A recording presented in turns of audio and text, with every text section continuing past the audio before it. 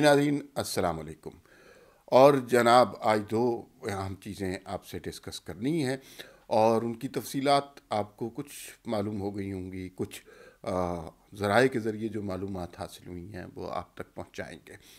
पहली बात तो ये है कि वज़ी अजम ने जो इजलास किया अपने तर्जमानों के साथ, उसमें असल कार्रवाई क्या हुई, किसने क्या बातें की, कौन से लोग किससे झगड़ पड़े वज़ी अजम ने वजीहुद्दीन सिद्दीकी, वजीहुद्दीन जो जस्टिस हैं, जिनको कभी प्रेसिडेंट नॉमिनेट करना चाहते थे, और तहरीक इंसाफ के बानी कारकुन हैं वो, और तहरीक इंसाफ से नाराज़ हैं, उनके हवाले से वज़रा को क्या हुक्म दिया, शहबाज शरीफ के हवाले से मुगलजात कहने का क्या इरादा है उनका, ये सारी तफसील हम आपको बताएँगे।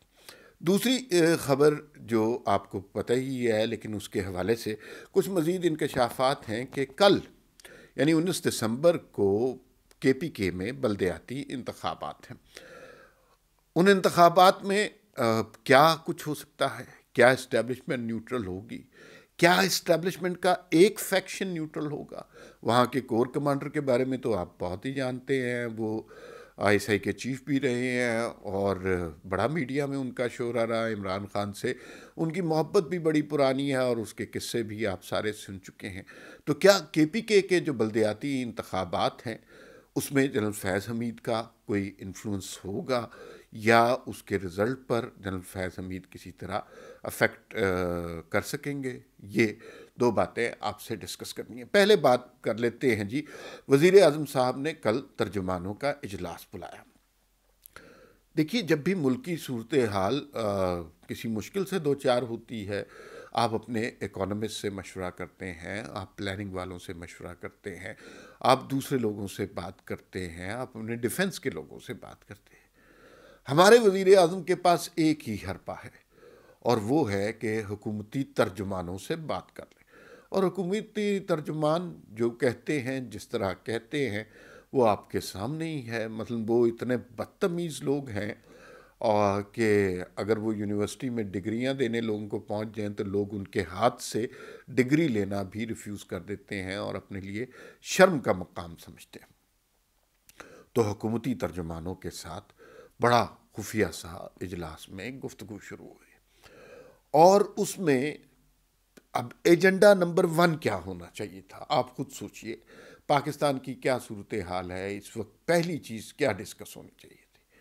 पहली चीज़, महँगाई और महँगाई के हवाले से अवाम का जो हाल है, वो डिस्कस होना चाहिए था। लेकिन नहीं, ये नहीं डिस्कस हुआ पहली चीज़।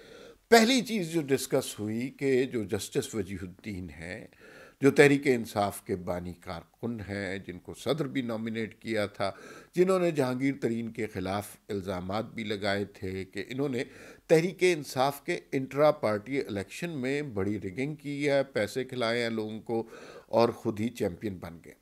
उनका गुज्त दिनों टेलीविज़न पर एक इंटरव्यू आया, जिसमें उन्होंने बताया कि जहांगीर तरीन जो हैं, वो इमरान खान के घर का ख़र्चा चलाते हैं। पहले ये ख़र्चा तीस लाख रुपए माहाना होता था। फिर खान साहब की ज़ाहिर है मसरूफियात बढ़ गई तो ये ख़र्चा पचास लाख रुपया महाना कर दिया गया। अब ये जब बयान आया तो ज़ाहिर है इसके बाद आ, मीडिया पे पहुंचाल आ गया। लोग तो समझ रहे थे कि ये तो बड़ा सादे कमीन आदमी है, ये तो कभी एक पैसा किसी से नहीं लेता। लेकिन आहिस्ता आहिस्ता वो सारी कली खुलती जा रही है और लोगों को पता चलता जा रहा है कि इमरान ख़ान की असल हकीकत क्या है। ये वो शख्स है कि जो शौकत खानम के फंड्स में भी खुर्द बुर्द कर सकता है, जिसकी बहन सिलाई मशीनों से अरबों रुपए कमा सकती है, जो फैसल वाडा के असासों का दिफा करता है, जो जहांगीर तरीन के जहाज़ पर बैठ कर सैरें करता है। तो उस शख्स की पर्सनल इंटेग्रिटी तो कोई ना ना हुई। और जो, जिसकी काबीना में तमाम के तमाम करप्ट लोग हैं तो वो कैसे पाक साफ़ और सादिक और अमीन हो गया? वो सबसे बड़ा करप्ट खुद होगा। तो ये आ, कुछ वजीहुद्दीन के जस्टिस वजीहुद्दीन के बयान से इस तरह की सूरत हाल सामने आना शुरू हुई। और ज़ाहिर है मीडिया भी अब तंग हो गया है मुस्बत रिपोर्टिंग का दौर दौर ख़त्म हो गया है और लोग खान साहब को सादिक और अमीन कह कह के और मुल्क की अबतर हालत देख कर थक चुके हैं। तो मीडिया ने भी इस इशू को बड़ा उठाया और जस्टिस वजीहुद्दीन के बयान को बड़ा चलाया कि खान साहब तो घर का खर्चा किसी से लेके चलाते हैं तो ये शख्स जो है, किसी भी सतह पर जा जा सकता है पैसे की खातिर। तो फिर सरकारी तर्जमान, क्योंकि जस्टिस वजीहुद्दीन के पास सिर्फ़ ये बात नहीं थी। मुझे तो है कि जस्टिस वजीहुद्दीन के पास इसके अलावा बहुत सारी बातें होंगी। ज़ाहिर है वो पार्टी के अंदरूनी मसाइल का हिस्सा रहे हैं, उन्हें बहुत सारी गुफ्तु पता होगी, बहुत सारे असासों के बारे में इल्म होगा, बहुत सारे पैसों के बारे में इल्म होगा। और जो इन्होंने अभी बात की है जहांगीर तरीन के हवाले से, ये बारिश का पहला खतरा है। दो चार इंटरव्यू उनके और होने दें, फिर आप देखिएगा कि ये बात कितनी ज़्यादा बढ़ जाएगी और क्या क्या इसमें से निकलेगा। तो इमरान खान जो ना इस वक्त महँगाई से परेशान है, ना गैस के बहरान से परेशान है, ना आवाम की हालत ज़ार से परेशान है, वो सिर्फ़ और सिर्फ़ परेशान जस्टिस वजीहुद्दीन के मज़ीद बयान से या मज़ीद इनकशाफात से हैं। तो उन्होंने रिट्रीट किया, थोड़ा सा पीछे हटे बैक फुट पे गए। और ये थोड़े दिनों की बात है, कल को वो कहेंगे तो तहरीक इंसाफ वाले माँ बहन की गालियाँ भी निकालेंगे जस्टिस वजीउद्दीन की। लेकिन अभी थोड़ा सा बैकफुट पे गए और हकूमती इजलास में एजेंडा नंबर एक, हकूमती तर्जमानों को सॉरी हकूमती तर्जमानों को हुक्म ये दिया गया कि जस्टिस वजीउद्दीन के जो बयान आ रहे ना, उसको देखे ना। इग्नोर कर दें यार, हमने कौन से पैसे लिए? हम तो साफ़ शफाफ लोग हैं। लेकिन अब फोकस कर लें शहबाज शरीफ पर। ऐसे ही फोकस कर लें। लेकिन बस अब आप देखेंगे कि सरार सरकारी तर्जुमान शहबाज शरीफ के ख़िलाफ़ जो मुगलजात बकेंगे जो बकवास करेंगे वो आप सब लोगों के सामने और इनमें बिल्कुल एबिलिटी है। ये झूठ को आ, सच कह के दिखा देते हैं। ये उस तरह के शोभदाबाज हैं जो ना वो डब्बे में से कबूतर निकाल देते हैं। तो कोई भी सिचुएशन में कोई एक अनोखी कहानी घड़ने की एबिलिटी है। उन्होंने इजलास में वज़ी अजम पाकिस्तान ने ये बताया कि वजीहुद्दीन को ज़्यादा मत छेड़ें। इसलिए कि वो जानते हैं कि अगर उन्हें ज़्यादा छेड़ा गया तो फिर या तहरीक इंसाफ के लोगों ने मुगलजात बकना शुरू कर दी तो फिर वो मज़ीद रिएक्ट करेंगे और मज़ीद कहानियाँ लोगों के सामने ले आएँगे। इस वक्त हुकूमत की डूबती नैया जिस स्टेज पर जा रही है, उस वक्त तहरीक इंसाफ किसी तरह भी मज़ीद इस तरह के इनकशाफात अफोर्ड नहीं कर सकती। तो ये सूरत हाल है और इसके बाद अब जब हुकूमती तर्जमानों ने यह डिस्कस कर लिया, शहबाज शरीफ के ऊपर मुगलजात बकने का क्यों कहा गया? इसलिए कि अब सुना है कि लंदन में बातचीत हुई है, कोई माफ़ी तलाफ़ी हुई है और फिल वक्त शहबाज शरीफ को वज़ी अजम अगला बनाने का फ़ैसला कर लिया गया है और जब वो वज़ी अजम बनेंगे तो फिर मरीम नवाज़ और जो है नवाज़ शरीफ की जो ताय हयात नाहली है वो ख़त्म हो जाएगी। ये कोई बातें चल रही हैं इसके बारे में कन्फर्म लेकिन इमरान खान को अगर हमें पता है तो इमरान खान को ही पता होगी। तो इमरान खान का अब असल थ्रेट असल दुश्मन नवाज़ शरीफ और मरीम नवाज़ नहीं रहे। उन्हें ख़तरा है कि अब उनकी सीट पर अगर कोई बैठेगा तो वो शहबाज शरीफ होगा, क्योंकि वो इस्टेब्लिशमेंट के भी लाडले हैं, वो बीच का रास्ता भी निकालने की कोशिश कर रहे हैं। वो नवाज़ शरीफ के बयानिए में और इस्टेब्लिशमेंट की कार्रवाइयों के दरमियान एक ब्रिज बनने की कोशिश कर रहे हैं। और लगता ये है कि वो किसी हद तक इसमें कामयाब हो गए हैं। लंदन से भी कुछ अप्रूवल मिल गई हुई है और ये हालात अब इस तरफ़ जा रहे हैं।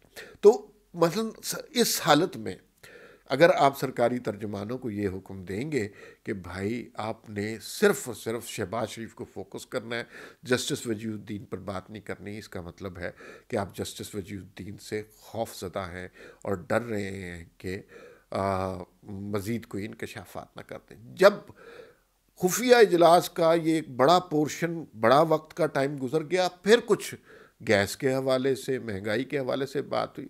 शौकत तरीन साहब ने एक जुमला कहा कि महँगाई का जो ट्रेंड है, उसमें कमी आ रही है। बस इतनी बात हुई और लोगों ने कहा, वाह जी वाह, कमाल करती है। ये अगर लोग ये सड़क पर जाकर लोगों से ये बात करते कि महँगाई कम हो रही है तो लोग इनके साथ जो सलूक करते, वो खैर आप सब लोग जानते हैं। महँगाई के हवाले से इतनी बात हुई, फिर हम माद अजहर और गवर्नर सिंध की लड़ाई चल पड़ी, उन्होंने कहा, भाई, के आप माद अजहर हमारा फ़ोन ही नहीं उठाते। माद अजहर कहते हैं, भाई, मैं तो रोज़ मैसेज करता हूँ। वो कहते हैं, आप कहाँ मैसेज करते हैं? मेरे फ़ोन पे तो नहीं आता। वज़ी अजम से बात करना आसान है। अब हमाद अजहर फ़ोन उठा भी ले तो क्या करेंगे? उनके पास गैस नहीं है, गैस हमने ख़रीदी नहीं है। ये इस हुकूमत की नाअहली की वजह से। वो फ़ोन उठाकर कहेंगे तो क्या कहेंगे? माजरत करेंगे, इसलिए वो फ़ोन नहीं उठाते होंगे। और कौन अपनी गलतियाँ इस दौर में मानता है? तो ये सारी सूरत हाल उस इजलास में हुई, बाकी दो तीन कार्रवाइयाँ सरकारी से हुई। लेकिन मेन एजेंडा यही रहा, जो कि इस हालत में, इस मुल्क के अवाम के साथ बड़ा जुल्म है कि आप वजीहुद्दीन को कुछ ना कहें, शहबाज शरीफ को गालम गलोच शुरू कर दें। दूसरी स्टोरी जो हमने करनी है, वो है, बड़ी इंपॉर्टेंट स्टोरी है के पी के में बलदयाती इंतबात हो रहे हैं।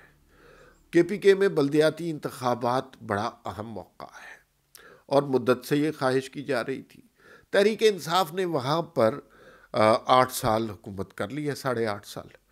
लोगों को एग्जैक्टली पता चल गया है कि तब्दीली का मतलब क्या है। तब्दीली का मतलब बेरोज़गारी है, अकरबा परवरी है, महँगे प्रोजेक्ट्स हैं, झूठ है, गालम गलोच है। अब वो लोग बड़े तंग आए हुए हैं। उन्हें पता है कि बीआरटी कैसे बनी, इतने महँगे खर्चे के बावजूद, और कैसी बनी है, और फिर मालम जब्बा फिर परवेज़ खटक फैक्टर। अब लोग बहुत ज़्यादा तंग आए हुए हैं। महँगाई और बेरोज़गारी वहाँ पर हर तरह से पूरे पाकिस्तान की तरह मौजूद है। फैसिलिटीज़ कोई नहीं है, अस्पतालों में दवाइयाँ नहीं मिल रही। तो तो है कि बलदयाती इंतबात में कौन सी जमात कामयाब होगी? ये अलग बात है, लेकिन तहरीक इंसाफ ज़रूर नाकाम होगी, क्योंकि एक तो हवा का रुख इस तरफ़ है के पी के की रवायात भी यही हैं, वो दोबारा ट्रस्ट नहीं करते तो ये सारी सूरत हाल वहाँ पर चल रही है। लेकिन इसमें एक बड़ा इंटरेस्टिंग फैक्टर है।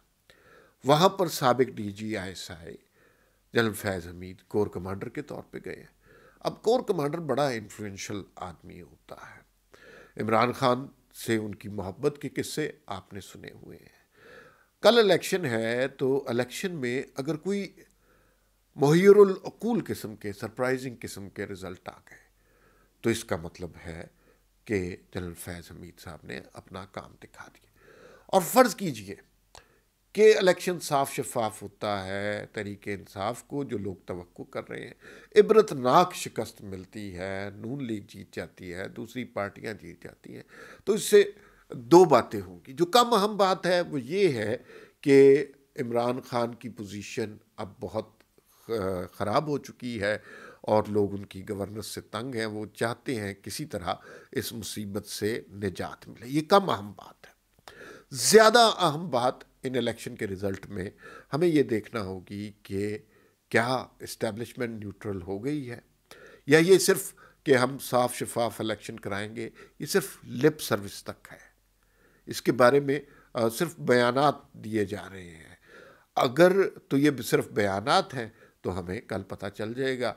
और अगर वाकई इस्टेब्लिशमेंट न्यूट्रल हो गई है तो बलदयाती इंतबात में इमरान खान और तहरीक इंसाफ का वो हशर होना है इनके उम्मीदवारों का कि ये मुँह छुपाते फिरेंगे और इन्हें छुपने के लिए जगह नहीं मिलेगी। तो ये बहुत ट्रिकी किस्म के इलेक्शन हैं और इसमें बहुत कुछ हो सकता है, बहुत कुछ पता चल सकता है। लेकिन इस इंपॉर्टेंट बात यह है कि इसमें ज़्यादा वक्त नहीं है। कल तक आपको पता चल जाएगा कि क्या हो रहा है और कैसे होगा। कल शाम तक आपको बिल्कुल खबर मिल जाएगी क्या इस्टेब्लिशमेंट न्यूट्रल है क्या जलम फैज़ हमीद फैक्टर कायम कर रहा है क्या इमरान खान को इबरतनाक शिकस्त हुई है या अभी भी कुछ लोग मुस्बत रिपोर्टिंग वाले उनका सहारा दे रहे हैं। ये बड़ी क्रिटिकल और ट्रिकी स्टेज है। लेकिन आ, मुस्लिम लीग नून को कल शाम तक सूरत हाल क्लियर हो जाएगी कि इस्टेब्लिशमेंट न्यूट्रल हो गई है या अभी तक वो तराजू में अपना वज़न इमरान खान के साथ डाले हुए हैं। लेट्स सी कल क्या होता है।